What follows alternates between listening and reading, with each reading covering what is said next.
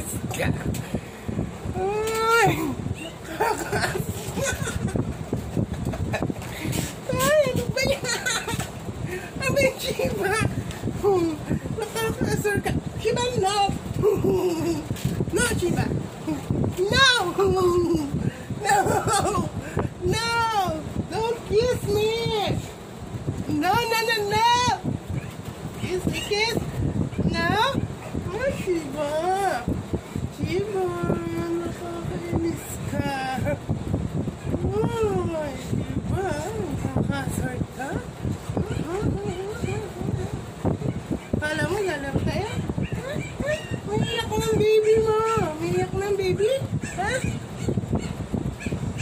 So yun nga guys. Tapos guys, tingnan nyo pala kung yung pagdede or yung gatas ay medyo malakas. Kasi kapag malakas, sumilip yung gatas, pwede kasi pumunta sa pag dumedede yung mga puppies, pwede pumunta lang sila. So ayan guys, dumedede lang yung mga baby. Puro tag-anan, ang kulit naman ni Shiba, nakakaasar. Shiba no! Ayan, lalakas sila dumede no? Ayan guys, so, ang lalakas sila dumede no? Tingnan sila. Tapos pag natapos, tuwang kayo kung paano papupuin. Baby, kasi minsan medyo tumitigas yung pupo nila. So, oops, pupo. Ew! Sorry. Basta, yun. Tignan mo yung eyes niya. Ang ganda-ganda, guys. Ah, tingin ka dun sa cam. Tingin ka sa cam. Hello! Hi!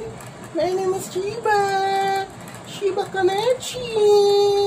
Shiba Shiba! Ayan, siya si Shiba. So, ganyan guys.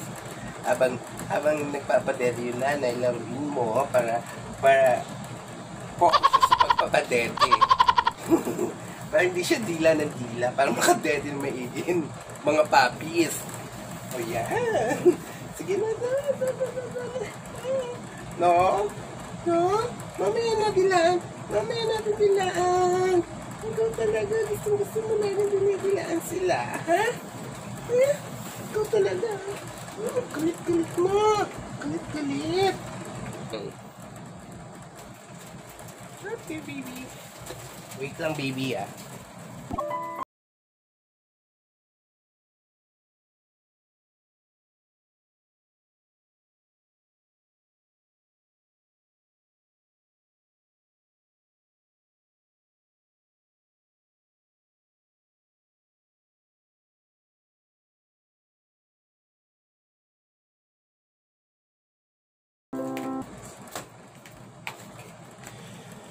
Hi!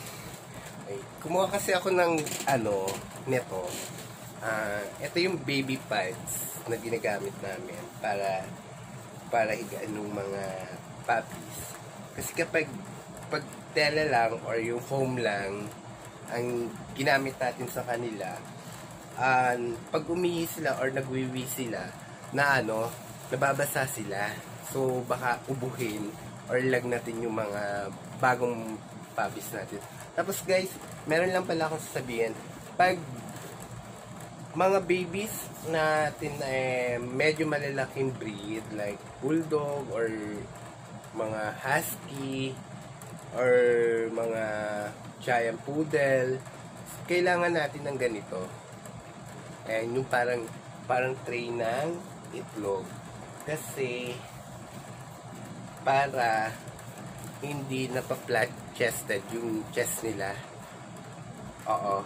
Para sa pag-develop nung ginagamit namin. Tapos ganyan. So, ayan. Palagay siya. Nilagay ko siya dito. Kasi pwede pa yung likod actually.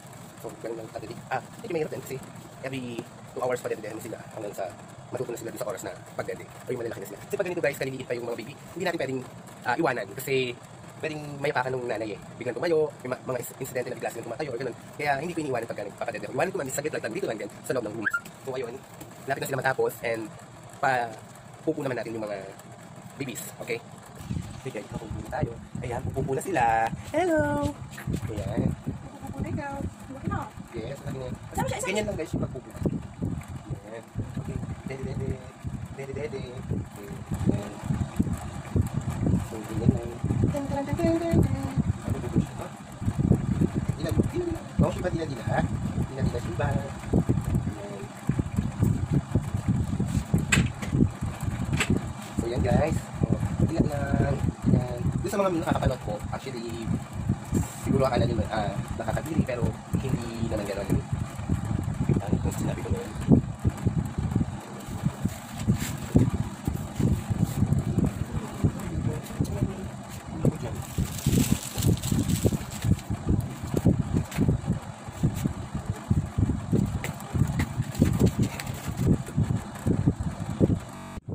yan, tapos na kami magpa-daddy guys. So, ayos ko na rin yung mga puppies. Nilagyan ko na ng ilaw kasi kailangan nila ng heat. Kasi yan, naka-aircon.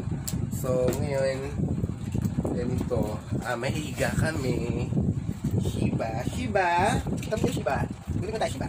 So, pag wala na akong ginagawa or tapos na magpa-daddy, so, kilala ko naman yung nanay. Kasi ka dito, kasi ka dito. Ah, tulog na tayo. Tulog tayo. Tulog tayo. Tulog na tayo. Oy! Tutulog na daw siya, guys. So, yan. Lalambing na siya. Okay, guys.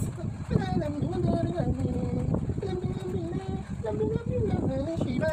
Shiba. Lambing-lambing. Okay, guys. Ah, Okay guys, uh, papaalam na ulit kami sa inyo ni Shiva. Ah, kung bago nga pala po kayo sa channel ko, this is Inday RC. So, paki-likes na lang po video, share, and comment na lang po kung may mga tanong kayo. And subscribe na rin po. And huwag niyo po kalimutan, i-click yung bell button para sa mga bago kong video. Thank you. Okay, bye-bye. Next time ulit.